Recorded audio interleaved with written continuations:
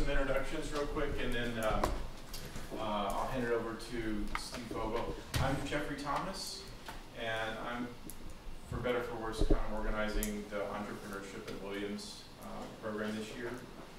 I'm also teaching the entrepreneurship winter study in January.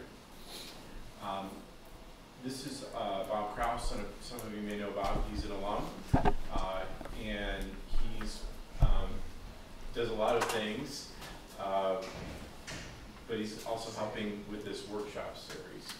Um, and he's going to be giving a workshop uh, later in the in probably next semester on, on negotiating skills, how to negotiate um, for uh, a deal with uh, investors. Um, but I want to talk for a minute about uh, Steve here and just tell you that um, uh, Steve has been involved uh, with some early stage companies, in, including one that, that was venture funded. Uh, and for the past 20 plus years, um, he's really specialized in business planning and he's seen over a thousand business plans at, at least in that time. Um, he's the uh, director of Berkshire Enterprises, and uh, they're based in Pittsfield, and he works with um, all kinds of entrepreneurs uh, in Berkshire County who are interested, particularly in setting up I think, small businesses, um, but we'll learn more. Is that fair? Sure, and you can ask me questions at any point. Yeah. Um, I'll just say just a couple other things. Um, Steve is a, a Williamstown resident for many years, and he's also a Williams parent. Um, you may know his son Nick. Um, and then finally, uh, he's going to be teaching a winter study, uh, also titled How to Write a Business um, which uh, gonna, which he's done in the past, and I've heard is really good. So I'll hand it over to Steve. Okay, thanks.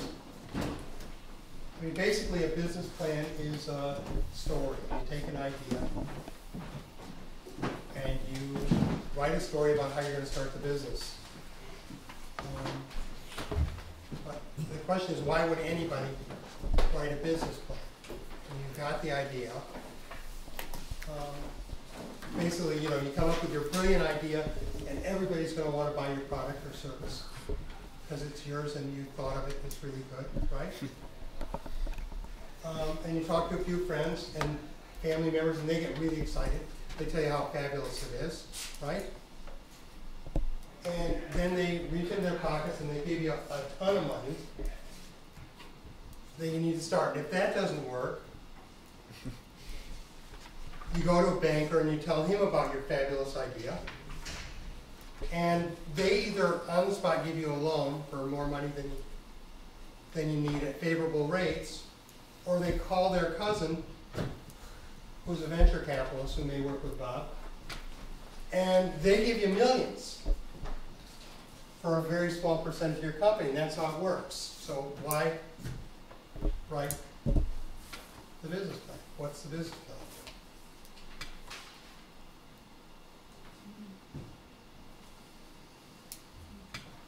Um,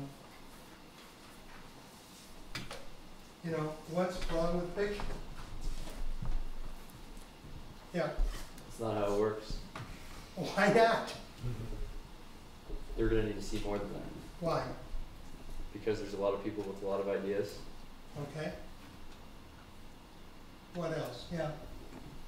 because last showed me the plan for it. So, Why, yeah, why do you need a plan? I mean, you've got this idea. What's the plan do?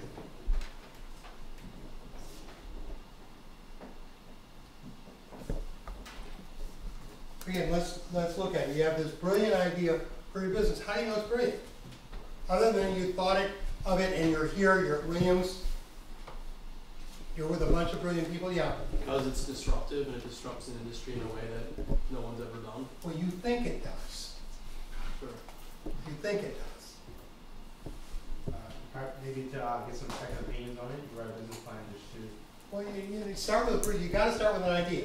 yeah. Um, you think it's, it's gonna disrupt everything, it's gonna be fantastic, but you gotta verify that. Right?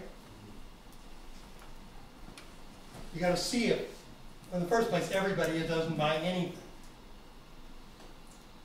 You Gotta figure out who's gonna buy it, what they'll pay for it. I mean, you talk to your family and friends, and they're all gonna tell you what a great idea it is. Cause that's, that's what they do, they're there to support you, right? I had clients who talked to their family and friends about what, they were gonna buy tons of stuff from them, and when they opened their doors, their family and friends bought nothing. Cause you ask your family and friends, and what are they gonna tell you? Whatever they think you wanna know. Um, So they don't give you all the money that you need. And I've got uh, two sons who have business ideas at this very moment. And I've yet to write a check to them. Um, They think they have a brilliant idea. I'm not so sure. I wanna see the research. I mean, you go to the banker, what does the banker wanna know? Other than you've got a fabulous idea. What do they need to know? How you're gonna pay it back?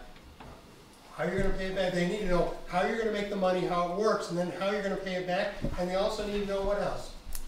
What you're gonna use as collateral.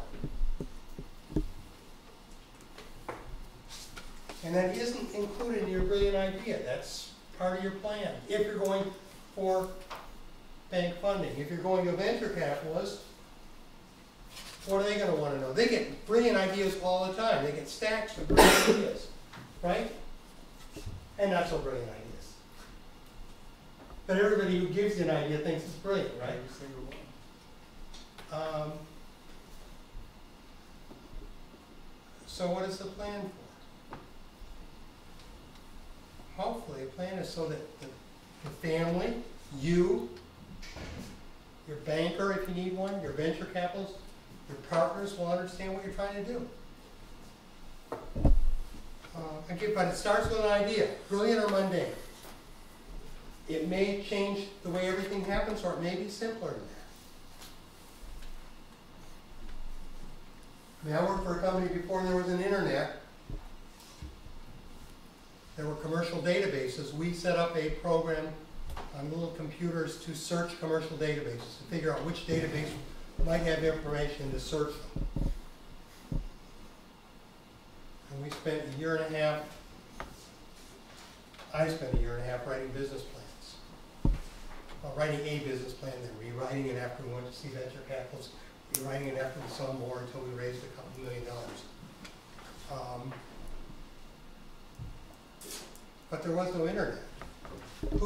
We thought that, that, uh, libraries and people doing research would be our major customers. It turned out after we were funded and everything, some of our major customers were the Army because they couldn't figure out what was in all the databases they had.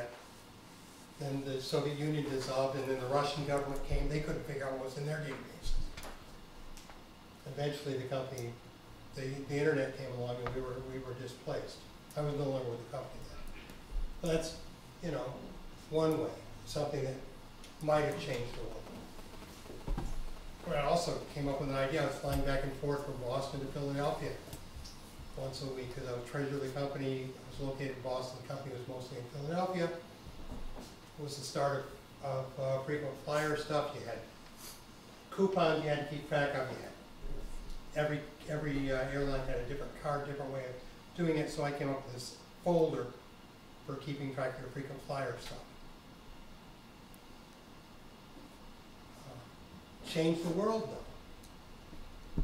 Um, We went to a manufacturer in Worcester, he made 'em- made us some, uh, samples of leather, we went to a guy in Dayton, Ohio, they made us samples of vinyl. We went out and tried to sell them to airlines and to, um, rental agencies and stuff like that. So the idea can come, you know, you drive, you're flying, and you got a stack stuff, you got a problem, so you're solving the problem. How do I organize this stuff? I still use my leather free. Um, How did the company do? we hit six months late. Because the, the economy tanked, and the travel industry tanked. Um, So you're victim of the business. So, um, but, you know, we didn't lose money. We made some money, we just didn't make a lot. And our goal was to sell, you know, millions. Um, we sold thousands. Um,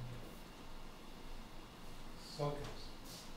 I mean, I had worked for a company, they were flying back and forth between Boston and Oak Ridge, doing, um, software development for the government. And one time they were, they're flying and the guy next to him was a assistant to the head of a major airline. And they were just talking and at the end of the conversation, at the end of the flight, the guy said, you should meet my boss. We've got some problems you could solve. And he gave him this card. And his boss was the chairman of uh, a major overseas airline. Airline flew them over to Europe. They said, you know, we've got a problem, We've gotta schedule gate ramp personnel, our IT people can't do it. You guys are bright, we'll give you the money to do it. Buy you the computers, we'll give you a contract. So that's another way to get an idea. Um, So there's, there's all different kinds of ways to get ideas. Um, And again, people come to me all the time with, I, they want to get rich, they want to save the world, they can't think of anything else to do, they want to start a business, but they don't have the idea. They say, what shall I do? I go, I don't know.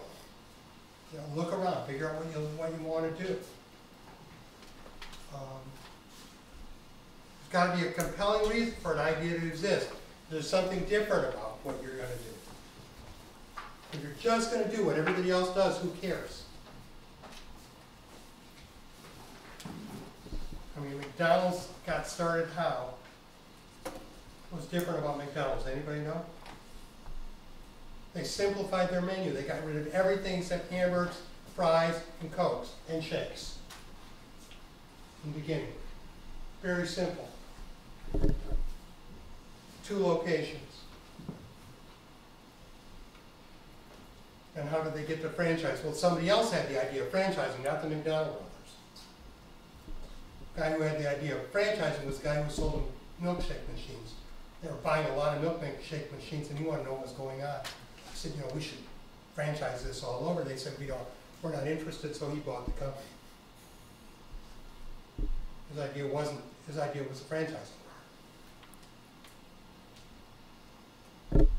I mean, you can have it, again, people have to recognize that it's different. If nobody knows that it's different from something else, who cares? They'll just go on with what they want. Again, your idea of, we're gonna change everything. And people have to care about it. Have to be willing to spend. Again, a good business idea, it ought to be something that you like doing. Because you're gonna spend a lot of time doing it. Why would you do something you think is boring? That's a really, really great idea, it'd be really boring. Find somebody that's gonna, that really is excited about and invest in them.